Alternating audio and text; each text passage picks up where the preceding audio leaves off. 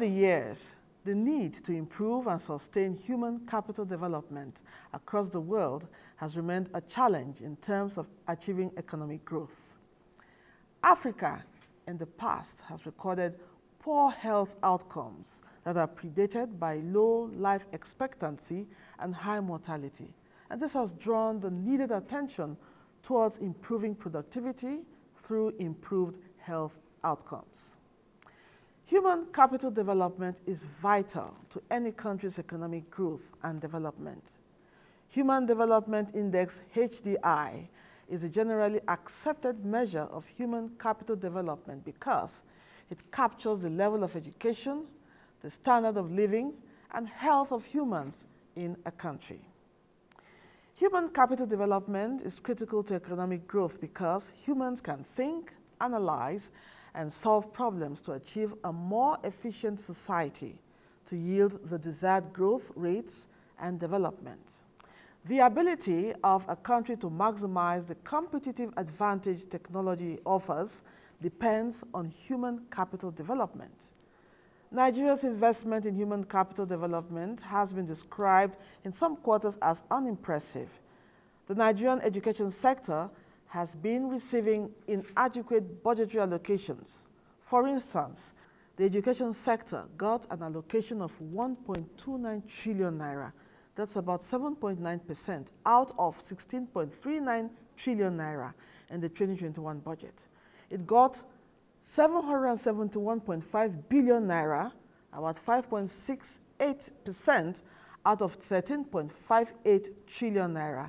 And in the 2020 budget, it got 671.07 billion naira, about 6.7% out of 10.33 trillion naira.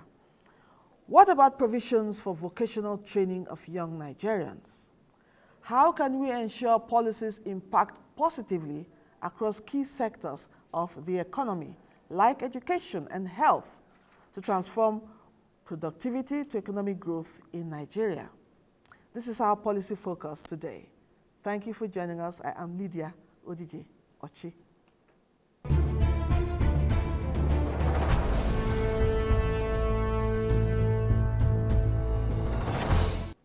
Welcome back. Nigeria is immensely endowed, both in terms of human and physical resources, which are almost unquantifiable. But the country is faced with major problems like shortage of skilled labor, unemployment, poverty, and inadequate provision of health care.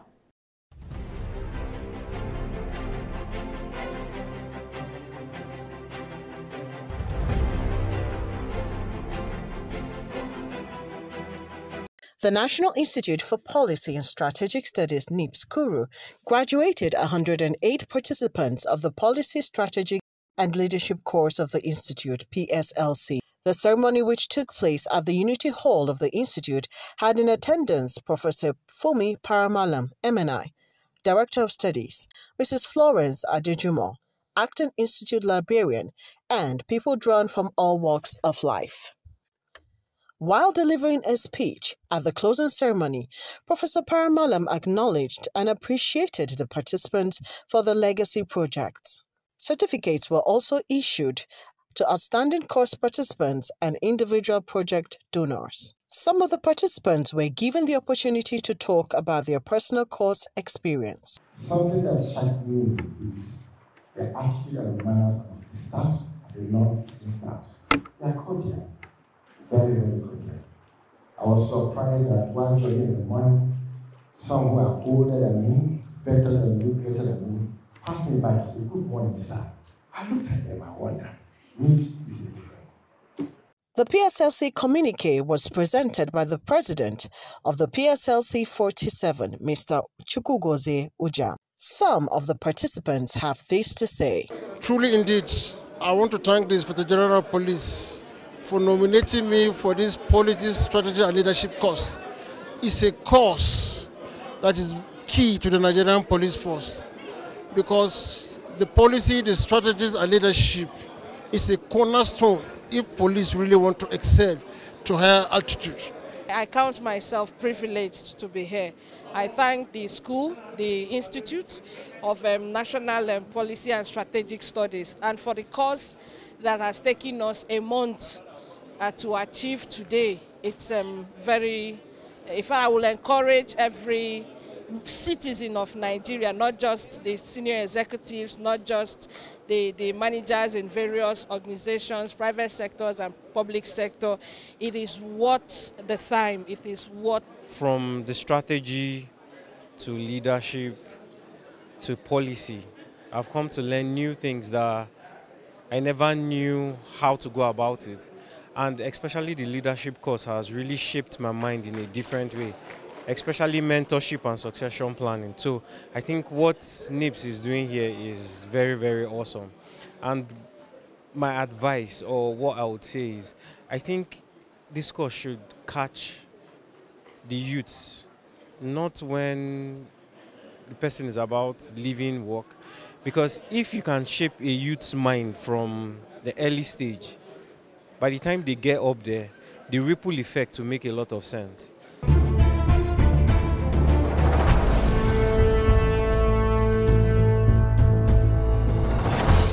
What are these policies and strategies needed to aid relevant agencies and policymakers to address human capital development issues in Nigeria?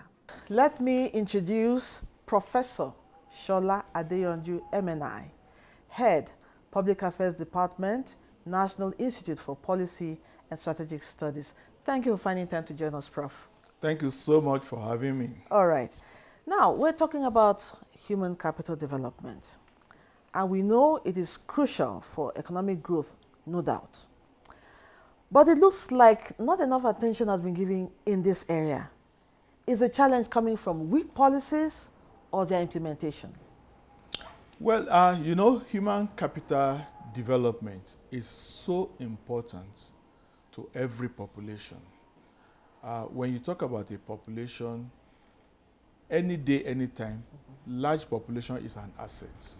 But then it doesn't become an asset until you improve the quality of that population. And how do you improve the quality of the population? It's by looking at the level of education, the level of skills, the health status, and uh, other things like that. That is what you use to look at uh, human capital development.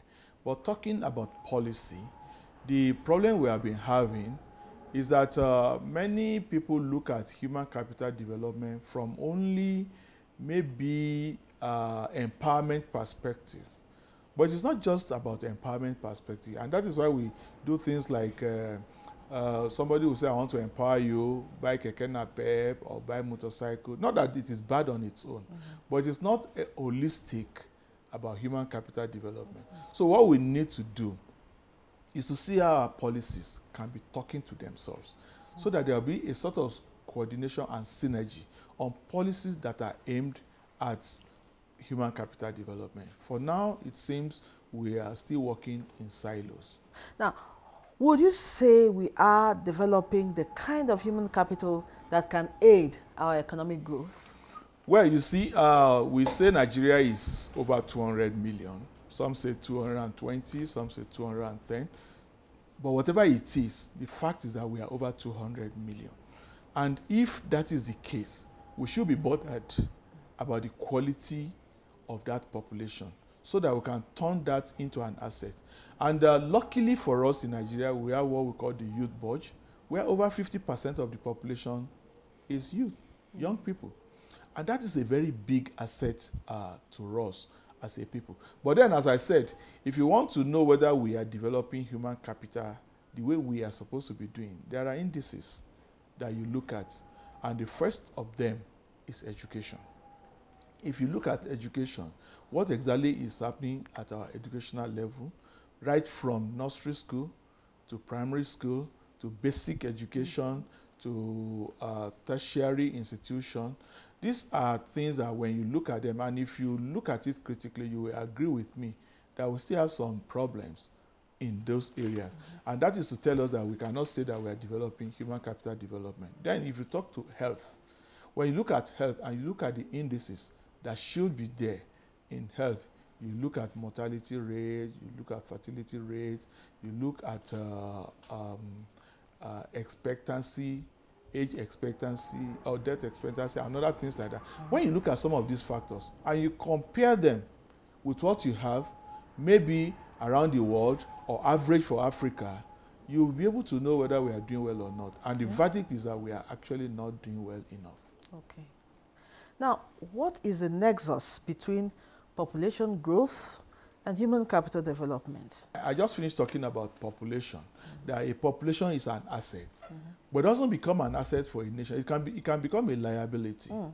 if the quality of the population, in terms of human capital development, is low. It is only when it is high that you can be proud mm -hmm. to say this is our population. If over, if your unemployment rate is over 40% and above, then it means that there are people in the system that are not engaged in productive activities and it means that it is only those who are engaged in productive activities that will be feeding those who are not engaged mm. in a productive uh, activities and if you look want to talk about the issue of statistics when you look at it very well you see that life, life expectancy in nigeria is about 55 roughly 55 years that is very low. Very, very I mean, low. if you cannot have life expectancy of 70 and above, mm -hmm. it means that there is a problem. So 55 point something is not uh, something that you will expect a population like Nigeria to have. And that is to say that we have a little problem.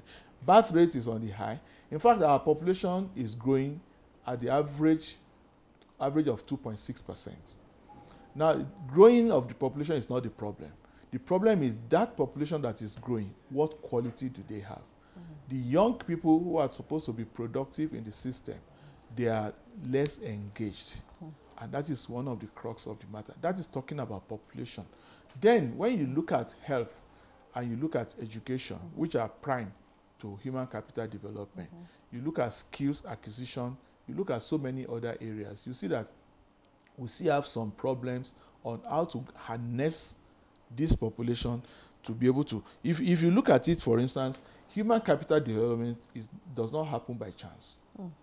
it has to be done deliberately planned implement i mean planned and implemented deliberately.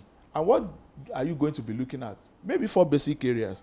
First is you use that to improve the knowledge of the population. What constitutes and when i say knowledge i'm not just talking about uh, education, tertiary education, I mean, formal education. Mm -hmm. Knowledge generally, what quantity of knowledge do you have within the society, including social knowledge mm. of how to interact, the values to hold, and things like that. Those are part of the knowledge. Mm -hmm. You also need to look at this level of skills that the population has, because it's only skills that will make you to be productive. Yes. Now, have we improved on the skills?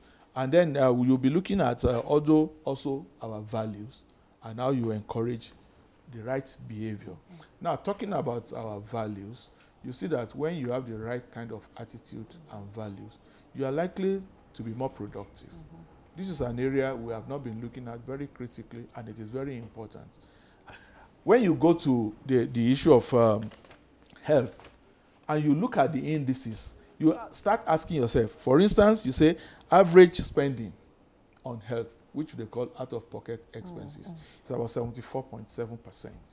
And that is one of the highest in the world. It's not the highest, but one of the highest in the world. When you look at African average, you have something like 31%, mm. which means that we are even more double. So if individuals will spend substantial part of their earnings on health, health then you are already having a problem. That is those who are even employed who can even mm -hmm. have access to money. What about those who are unemployed? So these are part of the problem. And the same thing with education. The problem with our educational sector, which we may need to look at into critically, uh, asking about human capital development, is that you will discover that we have intervention funds at our educational level, meaning that we feel that they are not getting enough funding. Let's intervene and let's upgrade it. You have what you call UBEC, Universal Basic, Basic Education uh, Commission. They have a fund which is in partnership between federal government and the state government. Now, that is targeted at basic education. Mm. And basic education is your education from uh, nursery up to junior secondary school. Mm -hmm. So you have senior secondary school and you have uh, We also have what we call um, uh, TET fund for tertiary institutions, polytechnics, and uh, universities. Mm -hmm. Probably also covering colleges of education. Mm -hmm. But then, one of the most critical areas that is important for our human capital development, mm -hmm. which is the what they call TVET, uh, te technical and vocational education. Mm. TVET is area where we have neglected. In any mm. case, there is no special intervention fund for that area, and we have okay. been we have neglected it over the years. This is a middle level area where technicians will be produced to support scientists. Mm. And if the scientists, engineers, and co are doing their stuff, and they don't have that level, that mini, uh, middle cadre level, then you see that we have a problem okay. in our human capital development. Yes. That is why you see that those with skills are becoming scanty by the day. When you talk about building, for mm. instance, you have a situation where Nigerians are now saying, "Let's go to Togo to get those who are going to tile our floors, or, or, or let's POP. go to or let's go to Ghana for POP." POP. So where our own skills, where our experts, because that middle cadre has been neglected. Mm. Wow. Thank you for that, Prof. Now, let, let us now examine policies in the area of investment in human capital development. What will be your assessment? Well, you see, part of the investment is you look at your you look at your budget. Mm. What is the percentage of budget on education? Yes. What is the percentage of budget on health? And you will see that where we have security, which is prime, mm -hmm. taking the bulk of the budget, then you start talking about agriculture and other things. Now, health and education is not given that prime of place. And uh, if that is the case, these are things that will affect our human capital development. Because it is when people are healthy that they can be productive. And it's when they are educated that they can deliver. Mm -hmm. So they go hand in hand. And this is uh, one of the uh, problems that we have had. And of course, I must say this at this point that the National Institute has actually gone to do a lot of studies. In year 2020, uh, the theme for that year, which they conducted research on, is human capital development. I mean, uh, population growth and human capital development. In other words, how are you going to harness your population growth through the improvement in human capital development to make the system more productive mm -hmm. so that we can be self-sufficient and so that we can start manufacturing. And uh, I must say that a lot of recommendations and implementation strategies came out of that. Uh, some governments are looking into, some are neglected. Mm. Okay, now, Prof, in what ways can human capital be improved over time through either informal or formal uh, skill acquisition? You see, we, we have some informal sectors that are helping to fill the gap. Only that it may not be because it is not planned, okay. not properly planned. Of course, many people have talked about the apprenticeship uh, yes. system, predominantly in the north, uh, in the uh, southeast, mm -hmm. which is probably extending to other areas gradually. Mm -hmm. But you see that that is informal. It is good, but it has not been proper. It, many people have studied it. There are a lot of studies on it on how we should okay. harness it, but we don't seem to have been able to do that. That is mm. one. Mm -hmm. I also know that people do a lot of apprenticeship in styling, in um, um, what they call it, um, um, styling the, of hair by okay. women, okay. tailoring, carpentry. People do it in an informal way, but you will see the difference between somebody for instance, who has gone to a technical education, uh, technical college, mm-hmm. and somebody who has just learned it by the by roadside. The, the difference is that there will be some level of finesse in okay. their product. Okay. It is not just necessarily that those at the roadside don't know what they are doing. But when you look at one of the things that affect us most is our finishing. And that mm-hmm. finishing is what you put to fine tune mm. whatever skills that you have. And if you don't do this, you, there is no how you are going to be competing with your counterparts from other Outside countries. Okay. And that is the problem. And you see that once you have professionals within our system, mm -hmm. the next thing is that because it is easier for them to make it outside, is to start getting outside the country. But Prof, but, but Prof uh, sometimes you see some of our finished products, for example, those that come out from Aba, you would actually think they were made outside the country. Yeah. So we have to. Now we know we, we are not saying that it doesn't exist, but can we say that it's all over? That is the problem. If, for instance, you, you know about products are mostly material things like uh, maybe Shoes, shoes, belts, bags. And other things Suits, like that. even Suits, suits. clothes. Now, when it comes to building, for instance, Mm-hmm. you want uh, a mason Mm. that will do a perfect job. We have them, but they are, they are on the decline now. Mm. Uh, you want uh, somebody who can do ceiling, you want somebody to roof. Not that we don't have those people, but we don't have them in, at the level at which they are needed. You can imagine people without skills looking for jobs. And I'm sure many will want to acquire the skill. Of course, you have skill acquisition centers here and there, you know, scattered everywhere. But and even you have a, a national board for technical education that is saying to how that education is done. But we are still not where we are supposed to be. Go to many of our technical colleges and see the level of resources that are available there. And at the pace which technology is going nobody is going to wait for us we just need to equip those places get our people to be skilled and then so that they can mm-hmm. return and be more productive to the system. Now, there, there, there have been several social investment initiatives hmm. in Nigeria aimed at enhancing productivity or productive capacities of labor. How effective or result oriented have they been so far? Well, you know, at the point we started with what they call NDE, National Directorate of Yes. uh, uh, Employment. Employment. I remember vividly when we were doing that NDE, both formal and informal sector. They say, okay, you want to learn dyeing. They attach you to either an institution or somebody who is very good at it. People register and they attach you, and government pays you some stipend uh, every month just to keep you there so that you learn. And after you finish, they give you some uh, take-off grants and things like that. That fizzled out with time. Now we still have, I believe we still have National Directorate of Employment, but how functional is it? When you go there, you see that they are staffed of funds. Now, rather than use the institutional frameworks, we started using programs. We have many programs. We have uh, NAPEP. We have all sorts of programs located here and there. Some in uh, an, office, some in a ministry. Now, there is no problem with that. They were like uh, just stopgap. They are not really solving the problem the way it should be solved. So I think what we need to do is to find a way of getting a well coordinated thing. I am I am I'm not oblivious of the fact that the federal government and the state government are involved and they have to be on the same page for this to work. But then when this one is well organized, then the National Council on Education, for instance, can start meeting and say, look, how do we coordinate this so that we'll be on the same Page. page? And then how do we devolve a national policy to the states since we are working towards the same thing?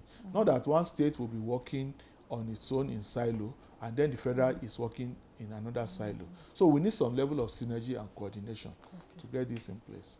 Okay, now let's talk about uh, budgetary allocations to the health and educational sector. What would be your recommendations? Well, uh, you know, there is this uh, figure that we bandied around that UNESCO said that uh, you must have uh, like 25%, I think, of your budget for education. Even though our research has shown that it was not as if uh, that was actually uh, a recommendation from UNESCO or from whatever. But then, the idea is that there has never been any time we have up to 10% of our budget allocated to education or to health. And then you see it will be hovering around 7%, 8%, 9%, and things like that. But these are very fundamental.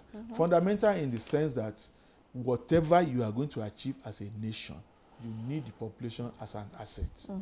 And as an asset, as I said earlier on, is that when they have the, what it takes to be productive, you cannot afford to have a over 50% young people in your population and they are idle. You are going to spend more money to curtail the evil that they will Yes. be perpetrating than to train them. Definitely. And that is, I think, that's why we need a paradigm shift along that line. we need to be able to harness that resources and we should yeah it's not as if it is bad some people saying hey, anyway when you travel mm. you go and acquire skill and come back home mm. and uh, employ but we should know that most of those places that our children are traveling to are population that are aging Yes. they are aging and they they want young population that will come and help them prop up whatever productivity level is lacking in their society. So it is like we are now building resources for them. Mm-hmm. not just raw materials this time around even human resources. We build human resources our young people will go there. They go there and go and service their system. So when are we going to service our own system? I think that is what we should be bothered more about. Uh, Prof, would like you to share your opinion on policies that you consider weak and those you consider strong. maybe i will take a cue from uh, the study from nips Okay. which uh, led to some recommendations and uh, you know as we say in NIPS recommendations and implementation strategies in other words uh, we we don't just give you recommendation we also give you the leeway or the means of achieving that recommendation uh, one of the things that we looked at is that our planning would need to be more uh, precise. And how do i mean? We cannot even though estimation some people argue that estimation of population can also be accurate. But then within that people still know that intermittently you need to be conducting your population census which we have not done for quite some i think the last one was 2006 ordinarily it shouldn't be more than 10 years or maximum 15 years. Some do it 10 years some do it 15 years. So that from time to time because your social uh, so, uh, social data might have changed. So we need to conduct our national population census. Yes i know the idea was mooted. We were almost doing it last year. But at the end of the day uh, it has not seen the light of day i think if we are going to move forward the current government will have to take a very good look at how we can do our population census. It is not just to know the number of people, it is about planning. It's about knowing the composition. It's about knowing who lives where. So this all this will lead to our economic planning, our health planning, education planning, all those sectors will be influenced. And because we need data for planning. So now, population census is a means of acquiring data. Of course, the some will argue with you that well, we keep on updating the data.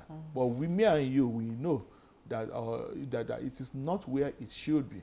Our data should be on our fingertips as ev- at every point in time so that we can use it for planning. So that is number one aspect, which I think we are lacking. Uh, we need to conduct our population uh, census. That is one. Secondly, is that uh, we need, uh, recently there was uh, the, the enactment of the National Health Insurance Scheme Regulatory uh, Act, I mean, which has been passed. The idea is that all the states should be able to key into National Health Insurance Scheme, and it should be broader to cover more people.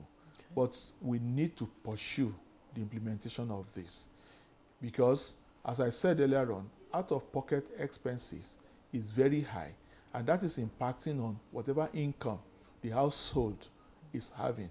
And if that impacts on the national income, for instance, what percentage of your health do you pay from your pocket? What percentage do you get from the public system? So if it is 74.7 percent, that alone can take away the income of low income earners. Even the high income earners will feel it. And uh, you could see that is the one reason why we are talking about medical tourism. People go out to go and seek medical help. Most of those people who are doing medical tourism are paying from their pockets. So if we can uh, fully implement the National Health Insurance Scheme and we can expand its coverage, then we will have done a lot of good to the health sector. And that will be a big relief to us as a, as a, as a people. Another thing I will need to mention before I move on is that we need to also re redirect our medical uh, philosophy from curative to preventive. Because, as they said, that prevention is better than cure. Most of what we do now is to, to be curative in nature. You already have the disease, then we are looking for how to cure, it. But what we should be doing is preventing it from even happening in the first instance. Mm -hmm. And that would demand a lot of concerted efforts, uh, uh, coordinated efforts. Uh, I know there are institutions that are saddled with this, mm -hmm. but we want to see it happening that we are paying more attention to preventive uh, medicine than curative mm -hmm. medicine. Uh, that is on, on that aspect. -hmm. I also think one very important point before we move on is that we need to do everything that we needed to do to reduce the out of school children. Mm. For now, we have papers will tell you we have 10 million, 11 million children out of school. Some people will even tell you it's a lie, it's not up to that. But whether the figures are correct or incorrect, the truth of the matter is that we have very high out of school children. And if you have that, what are you building for the mm. society? What do you want them to become? How do they self actualize themselves?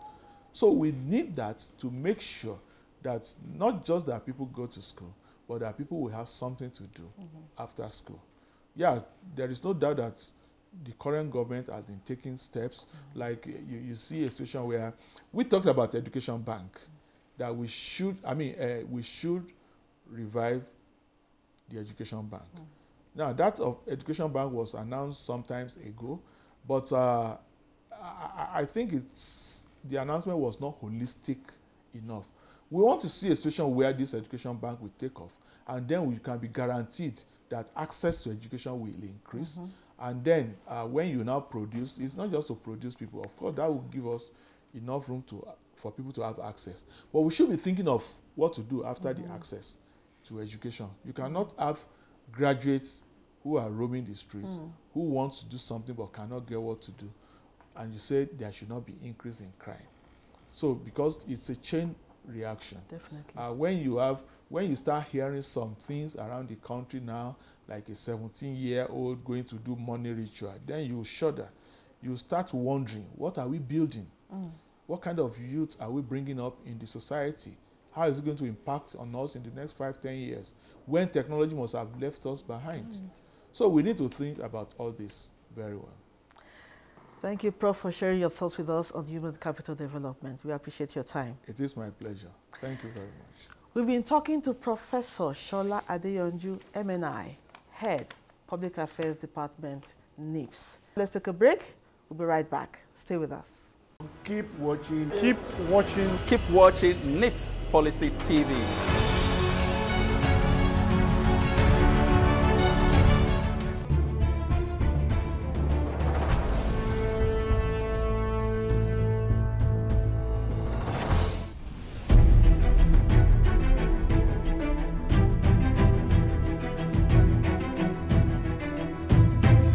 Since I graduated from the university, I never looked for any job to, to do for the government. I have been on my own together with my husband. We've been on our own trying to source our means of livelihood.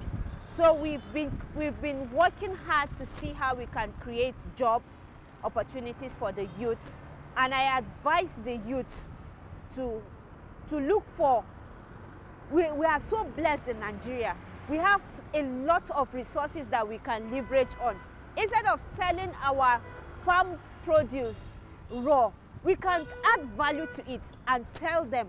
We must not be selling it to the uh, international folks uh, unprocessed. We have, we, have to, we have to be creative.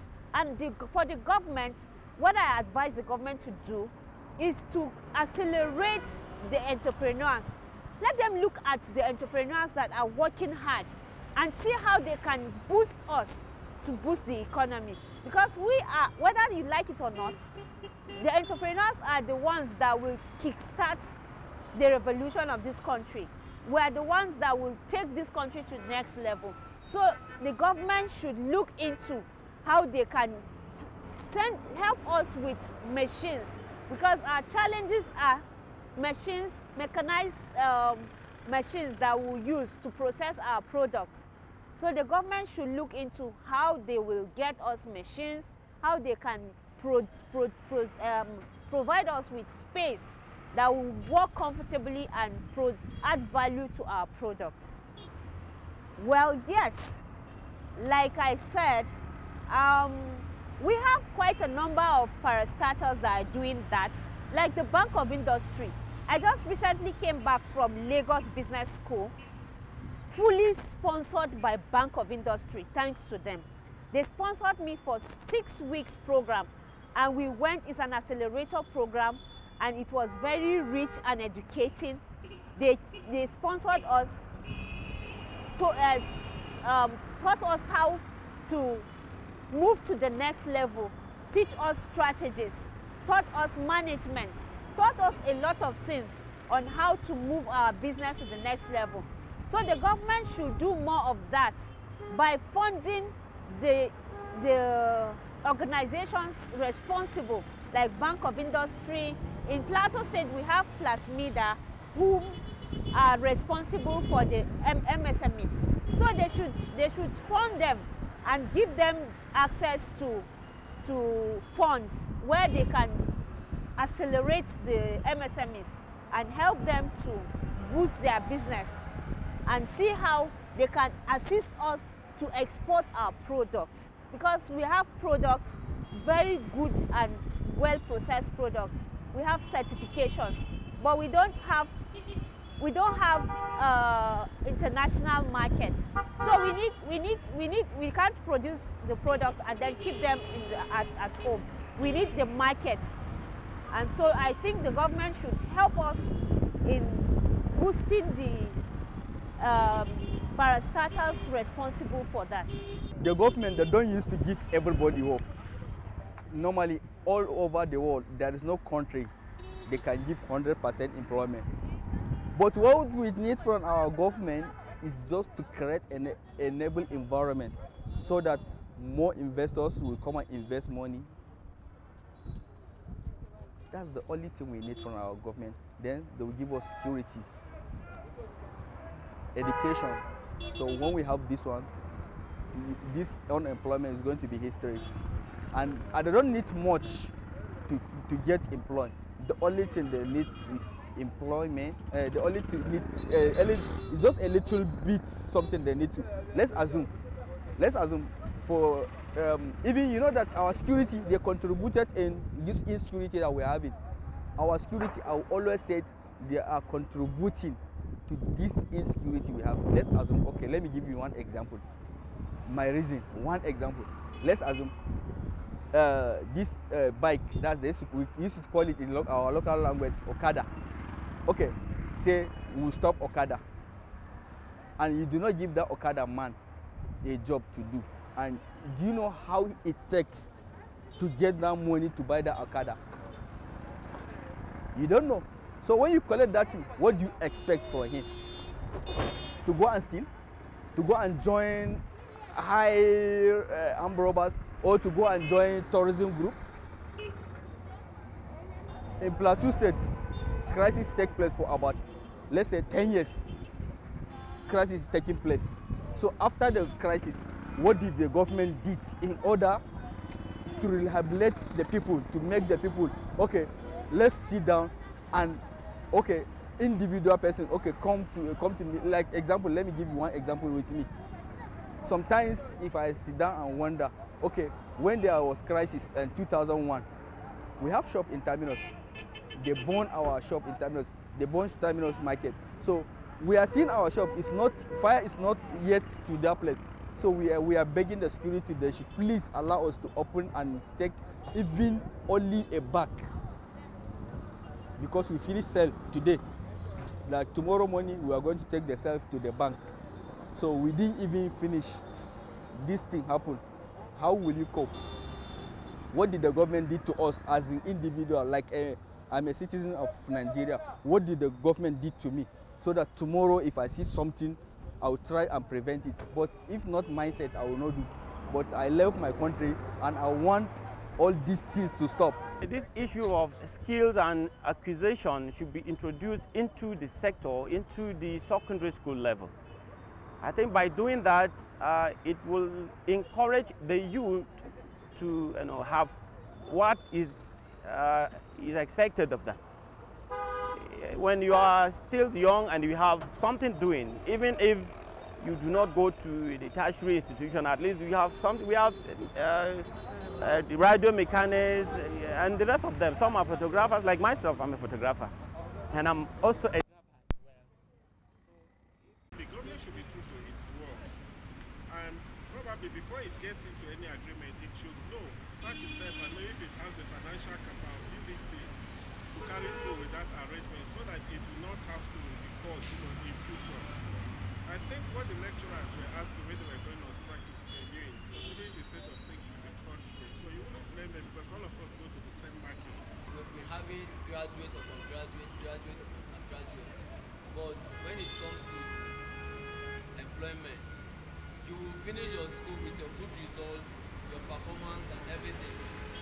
You will round this country, you go places to places, you will never find any organization that is looking for work. The reason is that most of these our parents who are old enough to to to rest from their service, but they will rather reduce their ages from 70 to 30 and the, the, the younger ones that were just coming we are there fighting offices with them which is not supposed to be like that. Keep watching. Keep watching. Keep watching NIPSS policy tv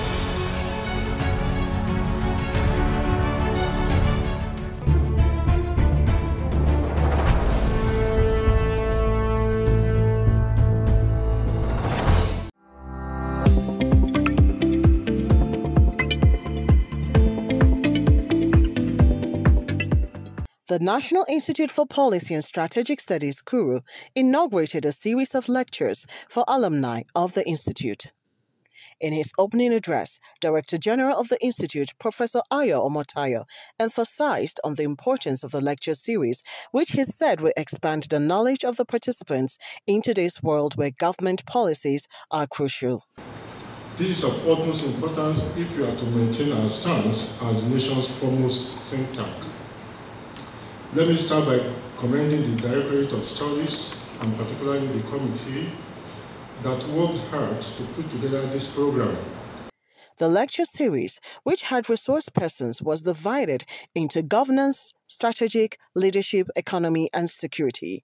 The lead resource person gave insight on democracy being dependent largely on numbers and population. The government and relevant stakeholders were admonished to avoid disenfranchisement of members of the society, especially youths, women, and people living with disability.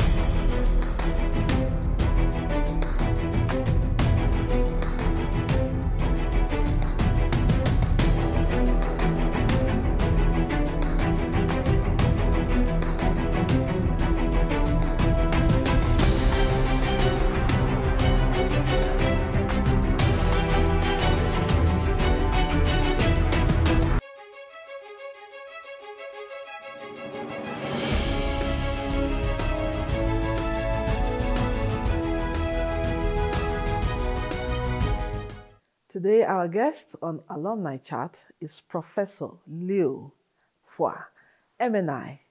He is a professor of political science with emphasis on international relations, and he is a certified international scholar. And he is a directing staff here at the National Institute for Policy and Strategic Studies. Thank you for joining us, Prof.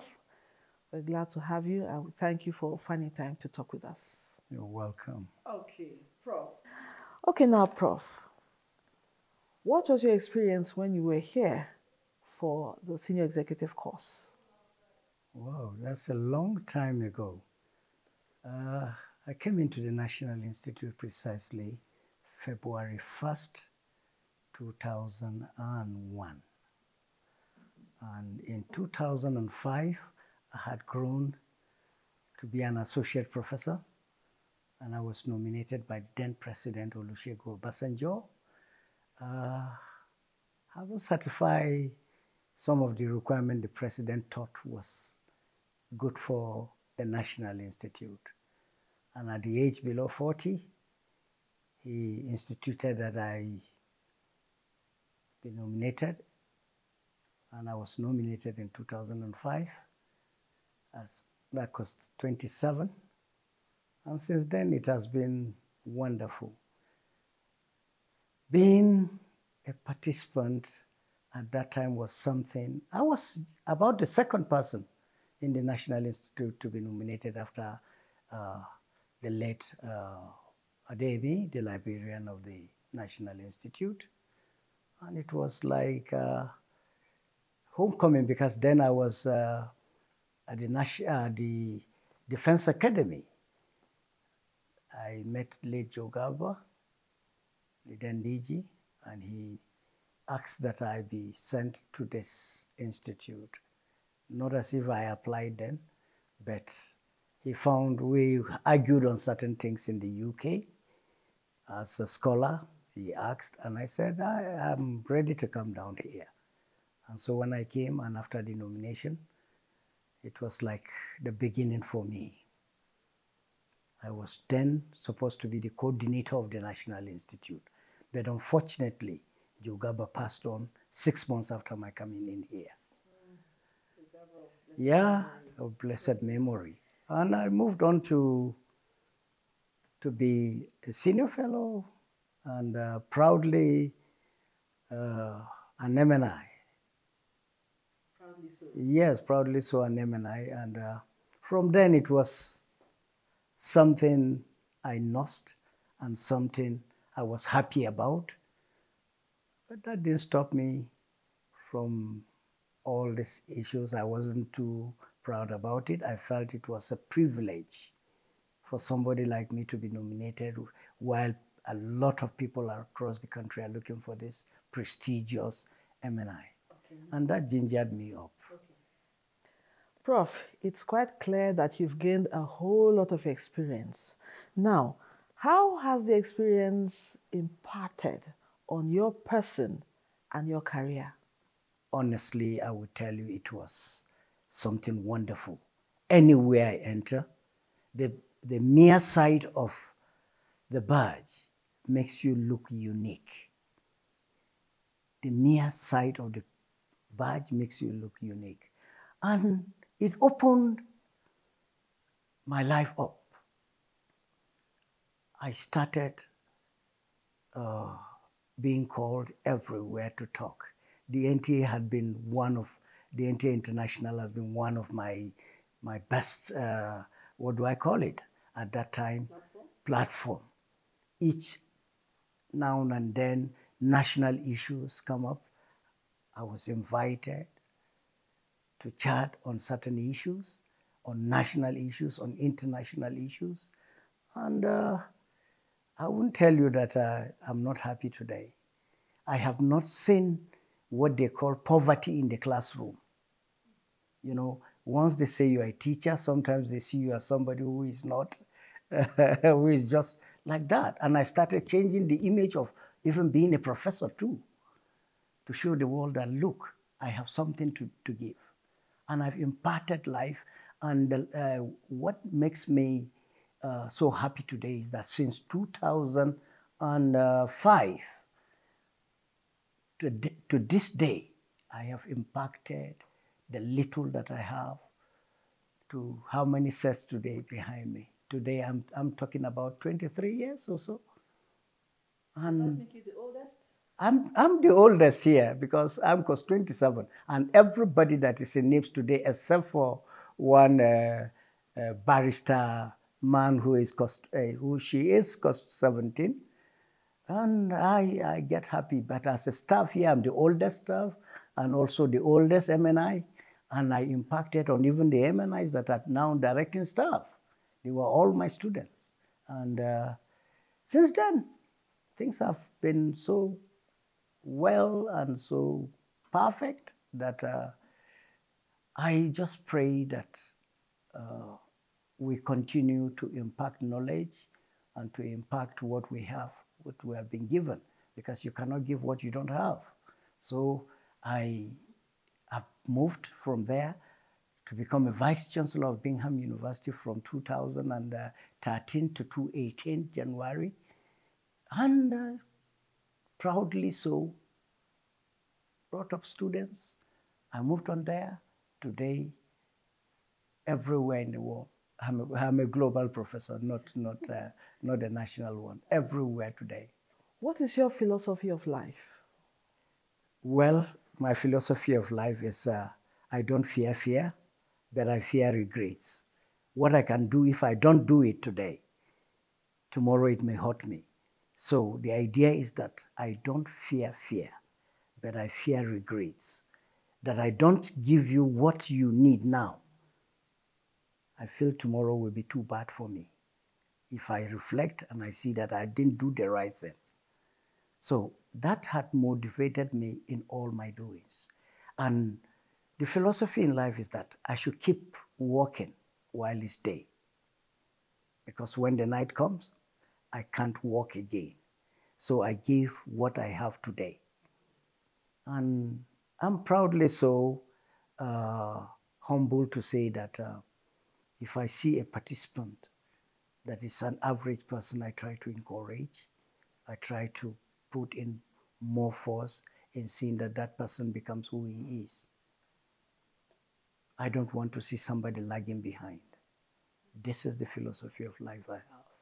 What would be your take on the narrative that the ANI or the alumni is an elitist group? This is a wonderful question.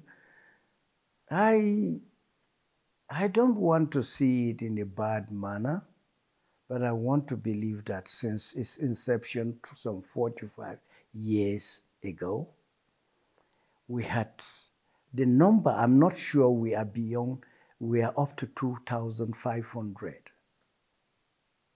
as of count now.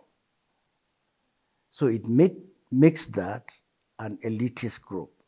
But the elitist group is that what we have imparted on people wherever we find ourselves makes us a complete, uh, how do I describe it?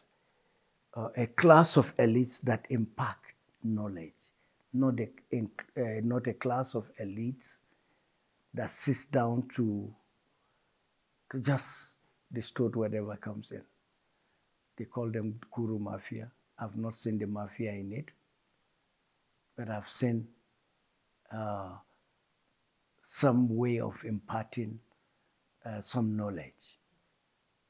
That is just what I would say. Thank you, Professor Liu for MNI. Thank you for sharing your thoughts. We really appreciate your time with us. We hope next time we come to you to talk about national issues. You avail us your time. Thank you indeed.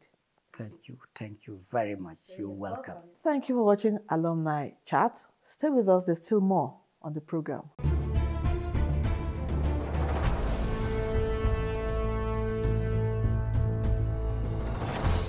Economic growth is one of the most important indicators of a healthy economy, which has been regarded as sine qua non for achieving macroeconomic objectives.